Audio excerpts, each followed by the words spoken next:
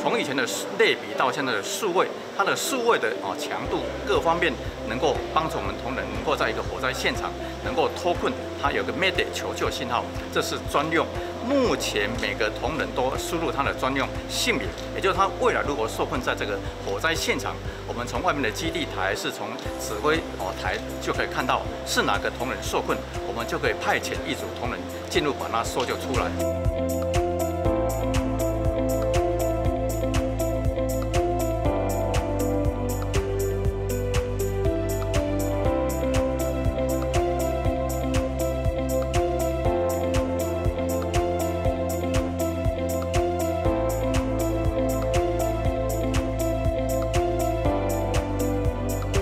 我们所有在啊，我们基地台、我们中继站这边哈，完全能够掌控现在哪一个同仁哈受困在这个现场啊，他是哪一位哈，非常清楚。透过他的定位，还透过他的名字，我们知道哪一位现在目前在啊现场哈受到一些波及哈，或是我们必须要紧急来救援了哈。我想这也是我们啊今天又是首创全国哈，在整个救灾的通讯科技方面哈啊在提升的一个非常重要的里程